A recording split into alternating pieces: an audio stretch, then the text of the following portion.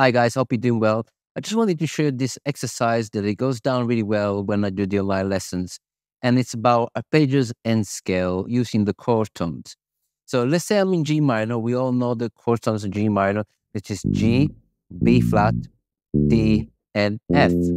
When uh, you're playing over the G minor as a static chord, of course, the first scale that comes to mind to play is the G Dorian. Yep, G Dorian behind the key of F. And so we have a B flat and not B natural. So when I'm playing over that chord, I have two options. I'm playing in the arpeggio and the scale or scale in the arpeggios. I think I did a short a while ago about this. What I'm trying to do is trying to get most of the range out of the bass and trying to play a two octave arpeggios and then going back with the scale for each chord tone. So starting from the G, you know, I have this shape here, which is a minor shape, and I go G, B flat, D, F, G, B flat, D. I'm already up to fifth, right? So, and then in this position, I go back with the scale. You're wondering, okay, yeah, you're using the modes. Really, I'm not thinking of this. I know there is a B flat within the scale, yeah? And I'm playing over the chord tones. So already I'm really inside that chord, you know, and I'm spelling out all the, the important notes.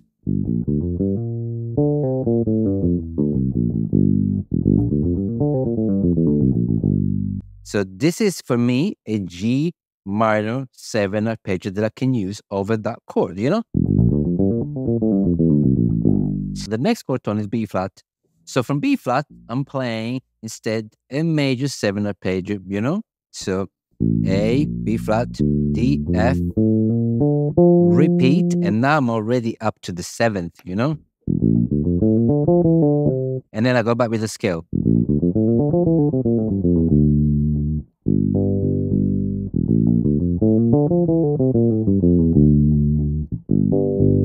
And that is from B flat. Now from the D, from the fifth, we have a minor shape.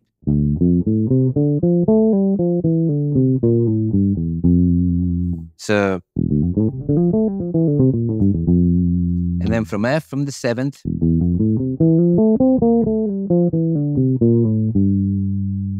yeah, I'm playing an F major seven arpeggio. And I start from the seventh, you know? From D, from B flat,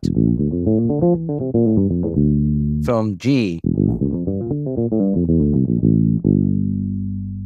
Now, this way for me, when I'm playing over a G minor seven, yeah, and to avoid thinking too many arpeggios or too many scales, because when you go and play, you really want to play and having a good time.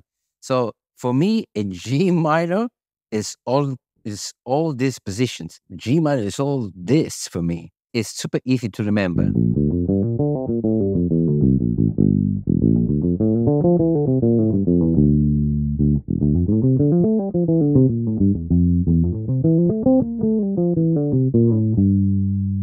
So let me show you what it sounds like with the backing track. And of course, I'm grooving and then I want to try to play a feel uh, with those positions.